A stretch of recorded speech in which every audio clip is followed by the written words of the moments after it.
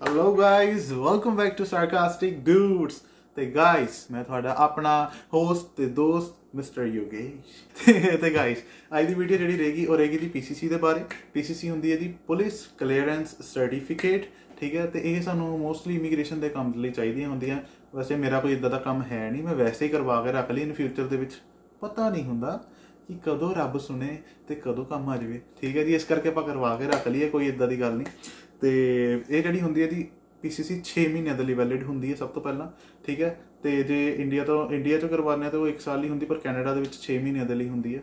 ਤੇ ਪੀਸੀਸੀ ਦੋ ਤਰੀਕੇ ਨਾਲ ਕਰਵਾਈਆਂ ਜਾ ਸਕਦੀਆਂ ਗਾਇਸ ਇੱਕ ਹੁੰਦੀ ਹੈ ਬੀਐਲਐਸ ਦੇ ਥਰੂ ਤੇ ਇੱਕ ਹੁੰਦੀ ਹੈ ਆਪਾਂ ਵੈਸੇ ਇੰਡੀਆ ਦੇ ਵਿੱਚ ਆਪਾਂ ਜਦੋਂ ਥਾਣੇ ਤੋਂ ਕਰਵਾਉਂਦੇ ਹਾਂ, ਠੀਕ ਹੈ? ਤੇ ਆਪਾਂ ਹੁਣ ਇਸ ਵੀਡੀਓ ਦੇ ਵਿੱਚ ਅੱਗੇ ਗੱਲ ਕਰਾਂਗੇ ਕਿ ਤੁਹਾਨੂੰ ਕਿਹੜੇ-ਕਿਹੜੇ ਡਾਕੂਮੈਂਟਸ ਚਾਹੀਦੇ ਨੇ ਤੇ ਬਣੇ ਰਹੋ। ਸੋ ਗਾਇਸ ਹੁਣ ਆਪਾਂ ਗੱਲ ਕਰਦੇ ਜੀ ਡਾਕੂਮੈਂਟਸ ਤੇ ਡਾਕੂਮੈਂਟਸ ਦੇ ਵਿੱਚ ਆਪਾਂ ਨੂੰ ਦੋ ਤਿੰਨ ਚੀਜ਼ਾਂ ਚਾਹੀਦੀਆਂ ਹੁੰਦੀਆਂ ਨੇ, ਜਿਹੜੀਆਂ ਕਿ ਬਹੁਤ ਜ਼ਿਆਦਾ ਜ਼ਰੂਰੀਆਂ ਨੇ ਪੀਸੀਸੀ ਲਈ। ਸਭ ਤੋਂ ਪਹਿਲੇ ਨੰਬਰ ਤੇ ਤੁਹਾਨੂੰ ਚਾਹੀਦੀ ਹੈ ਐਪਲੀਕੇਸ਼ਨ ਫਾਰਮ ਤੇ ਐਪਲੀਕੇਸ਼ਨ ਫਾਰਮ ਜਿਹੜਾ ਆਪਾਂ ਆਨਲਾਈਨ ਫਿਲ ਕੀਤਾ ਹੁੰਦਾ, ਆਪਾਂ ਉਹਦਾ ਪ੍ਰਿੰਟ ਕਢਾਉਣਾ ਆ ਤੇ ਉਹਦੇ ਉੱਤੇ ਆਪਣੀ ਸੋਹਣੀ ਜੀ ਫੋਟੋ ਲਾ ਕੇ ਤੇ ਥੱਲੇ ਸਿਗਨੇਚਰ ਕਰ ਦੇਣੇ। ਠੀਕ ਹੈ ਜੀ? ਦੂਜੇ ਨੰਬਰ ਤੇ ਸਾਨੂੰ ਚਾਹੀਦਾ ਜੀ ਸਾਡਾ ਰੈਜ਼ੀਡੈਂਸ਼ੀਅਲ ਪ੍ਰੂਫ ਜਿਹਦੇ ਵਿੱਚ ਤੁਸੀਂ ਆਪਣਾ ਮੋਬਾਈਲ ਬਿੱਲ ਯੂਟਿਲਿਟੀ ਬਿੱਲ ਜਾਂ ਆਪਣਾ ਡਰਾਈਵਿੰਗ ਲਾਇਸੈਂਸ ਜਿਹੜਾ ਹੈਗਾ ਉਹ ਅਟੈਚ ਕਰ ਸਕਦੇ ਹੋ। ਠੀਕ ਹੈ ਜੀ? ਤਾਂ ਜੋ ਤੁਹਾਨੂੰ ਜਿਹੜਾ ਤੁਹਾਡਾ ਪਾਰਸਲ ਕੱਲ ਨੂੰ ਪੀਸੀਸੀ ਤੁਹਾਡੀ ਆਉਣੀ ਆ, ਉਹ ਤੁਹਾਡੇ ਐਡਰੈਸ ਤੇ ਪਹੁੰਚ ਜਾਵੇ। ਤੀਜੇ ਨੰਬਰ ਤੇ ਸਾਨੂੰ ਚਾਹੀਦਾ ਹੈ ਜੀ, ਸ- ਸਭ ਤੋਂ ਇੰਪੋਰਟੈਂਟ ਚੀਜ਼ ਪਰਮਿਟ ਵਰਕ ਪਰਮਿਟ ਠੀਕ ਹੈ ਜੀ ਵਰਕ ਪਰਮਿਟ ਚਾਹੀਦਾ ਸਾਨੂੰ ਤੇ ਉਹਨਾਂ ਦੀ ਸਾਰਿਆਂ ਦੀ ਫੋਟੋਕਾਪੀ ਜ਼ਰੂਰ ਕਰ ਲੈਣੀ ਕਿਉਂਕਿ ਉਹ ਓਰੀਜਨਲ ਨਹੀਂ ਐਕਸੈਪਟ ਕਰਦੇ ਉਹਨਾਂ ਨੂੰ ਫੋਟੋਕਾਪੀਸ ਚਾਹੀਦੀਆਂ ਹੁੰਦੀਆਂ ਨੇ ਤੇ ਫੋਟੋਕਾਪੀ ਯਾਦ ਨਾ ਕਰਵਾ ਕੇ ਲੈ ਕੇ ਜਾਇਓ ਅਦਰਵਾਈਜ਼ ਫਿਰ ਤੁਹਾਡਾ ਪੰਗਾ ਪੈ ਸਕਦਾ, ਠੀਕ ਹੈ। ਤੇ ਉਸ ਤੋਂ ਇਲਾਵਾ ਤੁਹਾਨੂੰ ਇੱਕ ਚਾਹੀਦੀ ਹੈ ਜੀ, ਸੋਹਣੀ ਦੀ ਫੋਟੋ ਤੇ ਫੋਟੋ ਦੇ ਜਿਹੜੀ ਡਿਟੇਲਸ ਹੋਣਗੇ ਕਿ ਫੋਟੋ ਕਿੰਨੀਆਂ ਚ, ਕਿੱਦਾਂ ਦੀ ਚਾਹੀਦੀਆਂ, ਤੁਹਾਨੂੰ ਚੈੱਕ ਲਿਸਟ ਚ ਮਿਲ ਜਾਏਗੀ ਤੇ ਕਿਉਂਕਿ ਹਰ ਇੱਕ ਪ੍ਰੋਵਿੰਸ ਦੇ ਹਿਸਾਬ ਨਾਲ ਉਹਨਾਂ ਦੇ ਆਪਣੀ ਰਿਕੁਆਇਰਮੈਂਟਾਂ ਨੇ ਤੇ ਤੁਹਾਨੂੰ ਜਿਹੜੀ ਆਪਣੇ ਓਨਟਾਰੀਓ ਮਤਲਬ ਕਿ ਓਨਟਾਰੀਓ ਲਈ ਜਿਹੜੀ ਚਾਹੀਦੀ ਆ, ਉਹ 2x2 ਦੀ ਚਾਹੀਦੀ ਹੁੰਦੀ ਫੋਟੋ ਤੇ ਉਹ ਯਾਦ ਨਾਲ ਲੈ ਕੇ ਜਾਇਓ ਕਿਉਂਕਿ ਮੈਂ ਆਪਣੀ ਗਲਤੀ ਕਰਕੇ ਇੰਡੀਆ ਵਾਲੀ ਲੈ ਗਿਆ ਸੀਗਾ, ਤੇ ਉਹ ਕਹਿੰਦੇ ਕਿ ਇਹ ਨਹੀਂ ਚੱਲਣੀ, ਤੇ ਫਿਰ ਮੈਂ ਦੁਬਾਰਾ ਫੋਟੋ ਕਰਵਾਈ ਸੀਗੀ, ਤੇ ਉਸ ਚੀਜ਼ ਦਾ ਪਲੀਜ਼ ਧਿਆਨ ਰੱਖਿਓ, ਠੀਕ ਹੈ ਜੀ? ਪੜਦੇ ਆ ਜੀ ਅਗਲੇ ਸਟੈਪ ਦੇ ਬਾਅਦ।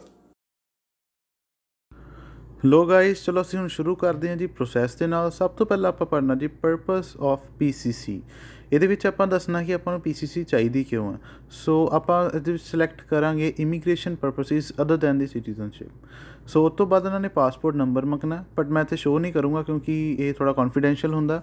ਸੋ ਪਾਸਪੋਰਟ ਨੰਬਰ ਭਰਨ ਤੋਂ ਬਾਅਦ ਗਾਇਸ ਤੁਸੀਂ ਆਪਣੀ ਡੇਟ ਆਫ ਐਕਸਪਾਇਰੀ ਭਰਨੀ ਹੈ ਪਾਸਪੋਰਟ ਤੋਂ। ਉਸ ਤੋਂ ਬਾਅਦ ਤੁਸੀਂ ਜਿਹੜੀ ਕੰਟਰੀ ਦੇ ਲਈ ਤੁਹਾਨੂੰ ਪੀਸੀਸੀ ਚਾਹੀਦੀ, ਜਿਵੇਂ ਕਿ ਕੈਨੇਡਾ ਮੈਨੂੰ ਕੈਨੇਡਾ ਲਈ ਚਾਹੀਦੀ ਹੈ ਸੋ ਉਹ ਸਿਲੈਕਟ ਕਰ ਲਿਓ।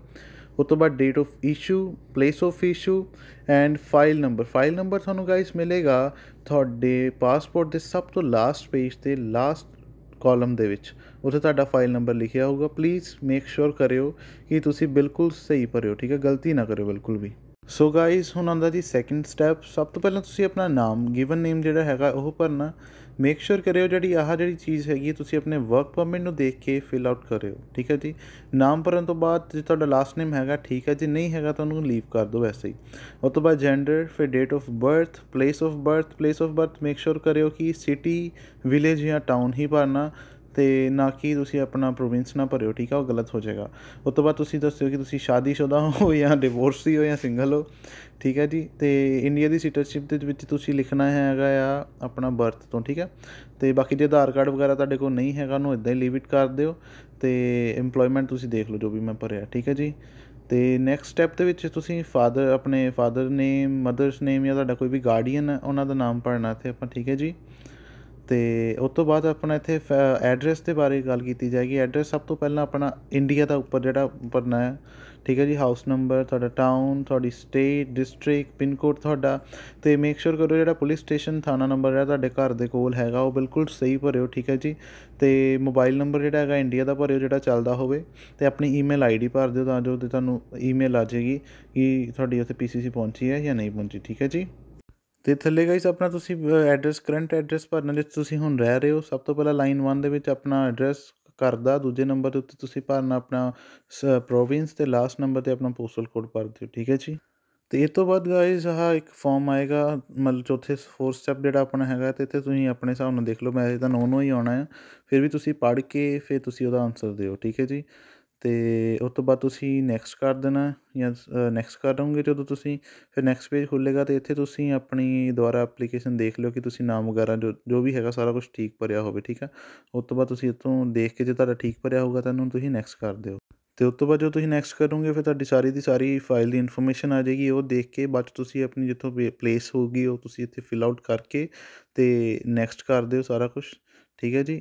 ਅਤੇ ਬਾਅਦ 'ਚ ਤੁਹਾਨੂੰ ਤੁਹਾਡੀ ਰੈਫਰੈਂਸ ਨੰਬਰ ਜਿਹੜਾ ਹੈਗਾ ਉਹ ਤੁਹਾਨੂੰ ਮਿਲ ਜਾਏਗਾ। ਅਤੇ ਜਦੋਂ ਤੁਸੀਂ ਹੁਣ ਬੈਕ ਆਓਗੇ, ਤੁਸੀਂ ਹੁਣ ਆਪਣਾ ਫਾਈਲ ਦੇਖਣਾ ਚਾਹੋਗੇ ਤਾਂ ਥੱਲੇ ਬਿਲਕੁਲ ਥੱਲੇ ਸਕਰੋਲ ਡਾਊਨ ਕਰੋਗੇ, ਤੁਹਾਨੂੰ ਉੱਥੇ ਤੁਹਾਡਾ ਫਾਈਲ ਮਿਲ ਜੇਗੀ ਅਤੇ ਪ੍ਰਿੰਟ ਦਾ ਆਪਸ਼ਨ ਹੋਊਗਾ, ਤੁਸੀਂ ਪ੍ਰਿੰਟ ਨੂੰ ਕਲਿੱਕ ਕਰੋਗੇ ਤਾਂ ਤੁਹਾਡੀ ਜਿਹੜੀ ਫਾਈਲ ਹੈਗੀ ਓਪਨ ਹੋ ਜਾਏਗੀ ਬਟ ਮੈਂ ਇੱਥੇ ਓਪਨ ਕਰਕੇ ਦਿਖਾਈ ਨਹੀਂ ਹੈਗੀ। ਅਤੇ ਹੁਣ ਗਾਇਸ ਮੈਂ ਤੁਹਾਨੂੰ ਦੱਸਾਂਗਾ ਕਿ ਤੁਸੀਂ ਅਪਾਇੰਟਮੈਂਟ ਕਿਵੇਂ ਬੁੱਕ ਕਰਨੀ ਹੈ, ਠੀਕ ਹੈ ਜੀ? ਕਿਉਂਕਿ ਅਪਾਇੰਟਮੈਂਟ ਬੁੱਕ ਕਰਨ ਤੋਂ ਇਲਾਵਾ ਤੁਸੀਂ ਨਹੀਂ ਜਾ ਸਕਦੇ ਵਾਕ ਨਹੀਂ ਕਰ ਸਕਦੇ ਹੈ ਨਾ ਤਾਂ ਸਭ ਤੋਂ ਪਹਿਲਾਂ BLS ਦੀ ਵੈਬਸਾਈਟ ਤੇ ਗਏ, ਉੱਥੇ ਤੁਹਾਨੂੰ ਇੱਕ ਲਿੰਕ ਮਿਲ ਜਾਏਗਾ ਅਪਾਇੰਟਮੈਂਟ ਬੁੱਕ ਕਰਨ ਦਾ। ਤੁਸੀਂ ਉਹਨੂੰ ਕਲਿੱਕ ਕਰੋਗੇ, ਠੀਕ ਹੈ? ਜਦੋਂ ਤੁਸੀਂ ਉਹਨੂੰ ਕਲਿੱਕ ਕਰੋਗੇ ਤਾਂ ਇੱਕ ਨਵਾਂ ਪੇਜ ਖੁੱਲ ਜਾਏਗਾ, ਜਿਹੜਾ ਕਿ ਥੋੜਾ ਜਿਹਾ ਇਸ ਤਰੀਕੇ ਨਾਲ ਦਿਖੇਗਾ। ਅਤੇ ਇਹਦੇ ਵਿੱਚ ਤੁਸੀਂ ਫਿਰ ਆਪਣੀ ਲੋਕੇਸ਼ਨ ਮੇਰੀ ਬਰੈਂਪਟਨ ਹੈ, ਮੈਂ ਬ੍ਰੈਂਪਟਨ ਭਰੀ ਹੈ, ਤਾਂ ਪਾਸਪੋਰਟ ਦਾ ਸੀਗਾ ਕੰਮ ਸੋ ਮੈਂ ਪਾਸਪੋਰਟ ਕਲਿੱਕ ਕੀਤਾ। ਉਸ ਤੋਂ ਬਾਅਦ ਜਦੋਂ ਤੁਸੀਂ ਪਾਸਪੋਰਟ ਕਲਿੱਕ ਕਰੋਗੇ, ਫਿਰ ਥੋੜੀ ਜੀ ਵਫਰਿੰਗ ਜੀ ਹੋਊਗੀ, ਤੇ ਉਸ ਤੋਂ ਬਾਅਦ ਤੁਹਾਨੂੰ ਡੇਟਸ ਵਗੈਰਾ ਜਿਹੜੀਆਂ ਹੋਣਗੀਆਂ ਅਵੇਲੇਬਲ ਉਹ ਤੁਸੀਂ ਦੇਖ ਸਕਦੇ ਹੋ। ਤੇ ਜਦੋਂ ਵੀ ਤੁਸੀਂ ਕਲਿੱਕ ਕਰ ਲਓਗੇ, ਜਿਹੜੀ ਡੇਟ ਤੁਹਾਨੂੰ ਸਹੀ ਲੱਗਦੀ ਹੈ, ਤੇ ਬਾਕੀ ਆਪਣੀ ਇਨਫੋਰਮੇਸ਼ਨ ਫਿਲ ਆਊਟ ਕਰਿਓ ਤੇ ਸਬਮਿਟ ਕਰ ਦਿਓ, ਤਾਂ ਤੁਸੀਂ ਅਪਾਇੰਟਮੈਂਟ ਆਪਣੀ ਬੁੱਕ ਤੁਹਾਡੀ ਹੋ ਜਾਏਗੀ। ਠੀਕ ਹੈ ਜੀ? ਲੈਟਸ ਗੋ ਲੋ ਗਾਇਸ ਪ੍ਰੋਸੈਸ ਆਪਣੀ ਹੋ ਗਈ ਜੀ ਡਨ ਹੁਣ ਤੁਸੀਂ ਕਹਿਣਾ ਜੀ ਫਾਰਮ ਫਿਲ ਕਰ ਲਿਆ ਪ੍ਰਿੰਟ ਕਢਾ ਲਿਆ, ਹੁਣ ਆਪਾਂ ਕੀ ਕਰਨਾ ਉਸ ਤੋਂ ਬਾਅਦ? ਹੁਣ ਗਾਇਸ ਆਪਣੇ ਕੋਲ ਦੋ ਤਰੀਕੇ ਨੇ। ਸਭ ਤੋਂ ਪਹਿਲਾਂ ਹੈਗਾ ਕਿ ਆਪਾਂ ਇਨ ਪਰਸਨ ਦੇ ਵਿੱਚ ਜਾ ਕੇ ਉਹਨਾਂ ਨੂੰ ਡਾਕੂਮੈਂਟ ਸਬਮਿਟ ਕਰਵਾਈਏ। ਦੂਜੇ ਨੰਬਰ ਤੇ ਹੋ ਸਕਦਾ ਹੈ ਕਿ ਆਪਾਂ ਉਹਨਾਂ ਨੂੰ ਬਾਈ ਮੇਲ ਸੈਂਡ ਕਰੀਏ। ਬਾਈ ਮੇਲ ਮੀਨਸ ਕਿ ਪਿਊਰੋ ਲੈਟਰ ਦੇ ਥਰੂ ਆਪਾਂ ਆਪਣੇ ਜਿਹੜੇ ਡਾਕੂਮੈਂਟਸ ਜਿਹੜੇ ਆਪਾਂ ਕੀਤੇ ਨੇ, ਉਹ ਆਪਾਂ ਸਬਮਿਟ ਕਰਵਾ ਸਕਦੇ ਹਾਂ। ਰਾਈਟ ਨਾਓ ਇਸ ਟਾਈਮ ਜਿਹੜੀ April ਇਸ ਟਾਈਮ ਸੌਰੀ April ਕਰ ਇਸ ਟਾਈਮ ਦਸੰਬਰ ਚੱਲ ਰਿਹਾ।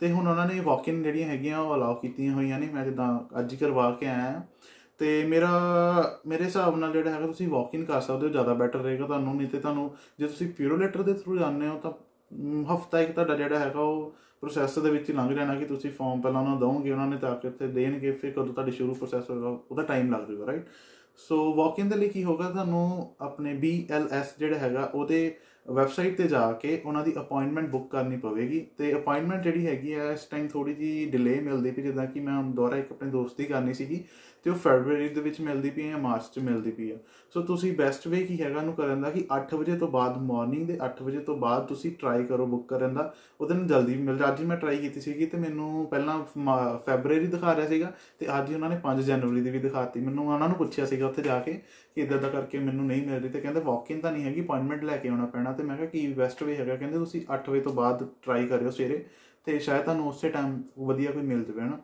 ਤੇ 8 ਵਜੇ ਤੋਂ ਬਾਅਦ ਤੁਸੀਂ ਟਰਾਈ ਕਰ ਸਕਦੇ ਹੋ। ਸੋ ਗਾਇਸ ਜਿੱਦਾਂ ਸਾਰੇ ਜਾਣੇ ਕਹਿੰਦੇ ਆ ਕਿ ਇਨਸਾਨ ਜਿਹੜਾ ਹੈਗਾ ਆ, ਉਹ ਗਲਤੀਆਂ ਦਾ ਪੁਤਲਾ ਹੈ ਚਲੋ, ਮੈਂ ਵੀ ਗਲਤੀਆਂ ਕੀਤੀਆਂ ਤੋਂ ਪਤਾ ਲੱਗਦਾ ਮੈਂ ਇਨਸਾਨ ਤਾਂ ਹੈਗਾ। ਤੇ ਮੇਰੀਆਂ ਵੀ ਥੋੜੀਆਂ ਜਿਹੀਆਂ ਗਲਤੀਆਂ ਹੋਈਆਂ ਸੀਗੀਆਂ ਤੇ ਉਹੀ ਮੈਂ ਤੁਹਾਡੇ ਨਾਲ ਸ਼ੇਅਰ ਕਰ ਰਿਹਾ ਕਿ ਤੁਸੀਂ ਗਲਤੀਆਂ ਕਿਹੜੀਆਂ ਨਾ ਕਰੋ। ਸਭ ਤੋਂ ਪਹਿਲੀ ਗਲਤੀ ਸੀਗੀ ਮੇਰੀ ਕਿ ਮੈਂ ਜਿਹੜੀ ਫੋਟੋ ਸੀਗੀ ਨਾ ਆਪਣੀ, ਉਹ ਇੰਡੀਆ ਵਾਲੀ ਲੈ ਗਿਆ ਸੀਗਾ, ਜਿਹੜੀ ਆਪਾਂ ਇੰਡੀਆ ਤੋਂ ਪਾਸਪੋਰਟ ਸਾਈਜ਼ ਫੋਟੋ ਕਰਵਾਉਂਦੇ ਆ ਮੈਂ ਉਹੀ ਜਿਹੜੀ ਸੀਗੀ ਯੂਜ਼ ਕਰ ਲਈ। ਮੈਂ ਕਿਹਾ ਚਲ ਸ਼ਾਇਦ ਇਹੀ ਯੂਜ਼ ਹੋ ਰਹੀ ਪਏ ਪੈਸੇ ਬਚਣਗੇ ਪਰ ਨਹੀਂ, ਉਹ ਯੂਜ਼ ਨਹੀਂ ਹੋਈ। ਆਪਾਂ ਨੂੰ ਚਾਹੀਦੀ ਹੁੰਦੀ ਹੈ 2x2 ਦੀ ਫੋਟੋ ਠੀਕ ਹੈ? ਬਸ ਬਾਕੀ ਸਾਰੇ ਡਿਟੇਲਸ ਤਾਂ ਮੈਂ ਥੱਲੇ ਪਾਈ ਦੇਣੀ, ਤੁਸੀਂ ਦੇਖ ਲਿਓ। ਦੂਜੇ ਨੰਬਰ ਉੱਤੇ ਸੀਗਾ ਕਿ ਜਿਹੜਾ ਮੈਂ ਫਾਰਮ ਜਿਹੜਾ ਸਬਮਿਟ ਕੀਤਾ ਸੀਗਾ, ਉਹ ਉਹਦੇ ਪ੍ਰਿੰਟ ਸਹੀ ਨਹੀਂ ਨਿਕਲਿਆ।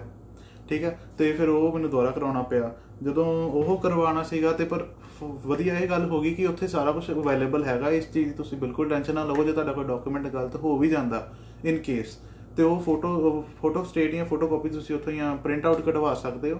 ਦੂਜੇ ਨੰਬਰ ਤੇ ਇਹ ਫਾਇਦਾ ਹੋ ਜਾਂਦਾ ਕਿ ਤੁਸੀਂ ਫੋਟੋ ਵੀ ਖਿਚਵਾ ਸਕਦੇ ਹੋ। ਉੱਥੇ ਮੈਂ ਫੋਟੋ ਖਿਚਵਾਈ ਸੀਗੀ, ਠੀਕ ਹੈ? ਤੇ ਇਸ ਚੀਜ਼ ਦਾ ਤੁਸੀਂ ਪਲੀਜ਼ ਧਿਆਨ ਰੱਖਿਓ। ਤੇ ਆਪਣੇ ਸਾਰੇ ਦੇ ਸਾਰੇ ਡਾਕੂਮੈਂਟਸ ਨਾਲ ਲੈ ਕੇ ਜਾਇਓ। ਤੇ ਅਪਾਇੰਟਮੈਂਟ ਜ਼ਰੂਰ ਲੈ ਲਓ। ਅਪਾਇੰਟਮੈਂਟ ਉਹ ਅਸੈਪਟ ਕਰਦੇ। ਵਾਕ ਇਨ ਜਿਹੜੀ ਹੈਗੀ ਆ ਅਸੈਪਟ ਨਹੀਂ ਕਰ ਰਹੇ। ਤੇ ਬਾਕੀ ਤੁਸੀਂ ਬਣੇ ਰਹੋ। ਜੇ ਤੁਹਾਨੂੰ ਕੋਈ ਵੀ ਤਰ੍ਹਾਂ ਦਾ ਕੋਈ ਕੁਐਰੀ ਆਂਦੀ ਹੈ ਸਾਨੂੰ ਜ਼ਰੂਰ ਰੀਚ ਆਊਟ ਤੇ ਗਾਇਸ ਹੁਣ ਸਭ ਤੋਂ ਇੰਪੋਰਟੈਂਟ ਪਾਰਟ ਆਂਦਾ ਜੀ ਓਵਰਆਲ ਐਕਸਪੀਰੀਅੰਸ ਤੇ ਮੇਰਾ ਓਵਰਆਲ ਐਕਸਪੀਰੀਅੰਸ ਜਿਹੜਾ ਸੀਗਾ, ਬਹੁਤ ਵਧੀਆ ਰਿਹਾ ਸੀਗਾ। ਮੈਂ ਐਕਚੁਅਲੀ ਨਾ ਕਮੈਂਟਸ ਵਗੈਰਾ ਚੈੱਕ ਕੀਤੇ ਸੀਗੇ ਰਿਵਿਊ ਚੈੱਕ ਕੀਤੇ ਸੀਗੇ ਗੂਗਲ ਤੇ ਜਾ ਕੇ। ਉੱਥੇ ਲੋਕਾਂ ਨੇ ਲਿਖਿਆ ਕਿ ਕਾਫੀ ਟਾਈਮ ਲੈਂਦੇ ਨੇ, ਇਹ ਹੈ ਤੇ ਉਹ ਹੈ। ਬਟ ਮੈਂ ਆਪਣੇ ਕੇਸ ਦੀ ਗੱਲ ਕਰਾਂ ਕਿ ਮੇਰੇ ਨੂੰ ਬਿਲਕੁਲ ਟਾਈਮ ਨਹੀਂ ਲੱਗਾ। ਮੇਰੀ 10:30 ਦੀ ਅਪਾਇੰਟਮੈਂਟ ਸੀਗੀ ਤੇ 11 ਵਜੇ ਉਸਤਾਦੋਂ ਨੇ ਵੇਲੀ ਠੀਕ ਹੈ। ਤੇ ਮੇਰਾ ਐਕਸਪੀਰੀਅੰਸ ਬਹੁਤ ਵਧੀਆ ਰਿਹਾ। ਜਿਹੜੀ ਉਹ ਮਤਲਬ ਕਿ ਜਿਹੜੇ ਉਹ ਸੀਗੇ ਮੈਡਮ ਜਿਹੜੇ ਨਾਲ ਮੇਰਾ ਮਤਲਬ ਅਪਾਇੰਟਮੈਂਟ ਸੀਗੀ, ਉਹ ਬਹੁਤ ਹੀ ਜ਼ਿਆਦਾ ਕੋਆਪਰੇਟਿਵ ਸੀਗੇ ਤੇ ਉਹਨਾਂ ਨੇ ਬਹੁਤ ਹੈਲਪ ਕੀਤੀ ਮੇਰੀ ਤੇ ਮਤਲਬ ਕਿ ਇਹਦੇ ਮੈਂ ਪੈਸੇ ਨਹੀਂ ਲੈ ਰਿਹਾ, ਵੈਸੇ ਮੈਂ ਹੈਲਪ ਕੀਤੀ, ਮੈਂ ਉਹਦਾ ਭਰਾਵਾ ਕ੍ਰੈਡਿਟ ਦੇਣਾ ਬੰਦਾ ਮੈਂ ਹਮੇਸ਼ਾ, ਠੀਕ ਹੈ। ਤੇ ਉਸ ਤੋਂ ਇਲਾਵਾ ਇੱਕ ਸਭ ਤੋਂ ਇੰਪੋਰਟੈਂਟ ਇਹ ਗੱਲ ਹੈ ਕਿ ਉਹਨਾਂ ਨੇ BLS ਜਿਹੜਾ ਹੈਗਾ ਆ, ਉਹਨਾਂ ਨੇ ਆਪਣਾ ਜਿਹੜਾ ਕਿ ਕਿੱਥੇ ਆ, ਬ੍ਰੈਂਪਟਨ ਦੇ ਵਿੱਚ ਜਿਹੜਾ ਮੇਨ ਸਟਰੀਟ ਦੇ ਉੱਤੇ ਉਹਨਾਂ ਦਾ ਆਫਿਸ ਆ, ਉਹਨਾਂ ਦੀ ਲੋਕੇਸ਼ਨ ਚੇਂਜ ਹੋਈ ਆ। ਹੁਣ ਉਹਦੀ ਜਿਹੜੀ ਲੋਕੇਸ਼ਨ ਹੈਗੀ ਆ, ਉਹ ਰੋਨਾ ਦੇ ਜਸਟ ਸਾਹਮਣੇ ਅਪੋਜ਼ਿਟ ਸਾਈਡ ਦੇ ਉੱਤੇ ਹੈਗੀ ਆ। So be be on time ਜੇ ਤੁਹਾਨੂੰ ਨਾ ਪਤਾ ਲੱਗੇ, ਤੁਸੀਂ ਉੱਥੇ ਗੂਗਲ ਕਰ ਸਕਦੇ ਹੋ ਜਾਂ ਫਿਰ ਤੁਸੀਂ ਉੱਥੇ ਐਡਰੈਸ ਲਿਖਿਆ ਹੋਇਆ 40 ਕਿਲ ਪਤਾ ਨਹੀਂ ਕੀ ਅੱਗੇ ਵਰਡ ਥੋੜਾ ਵੱਡਾ, ਮੈਂ ਐਡਰੈਸ ਪਾ ਦਵਾਂਗਾ ਥੱਲੇ ਤੇ ਤੁਸੀਂ ਉੱਥੇ ਸਿੱਧਾ ਰੀਚ ਆਊਟ ਕਰ ਸਕਦੇ ਹੋ, ਤੁਹਾਨੂੰ ਟੈਨਸ਼ਨ ਲੈਣ ਦੀ ਕੋਈ ਲੋੜ ਨਹੀਂ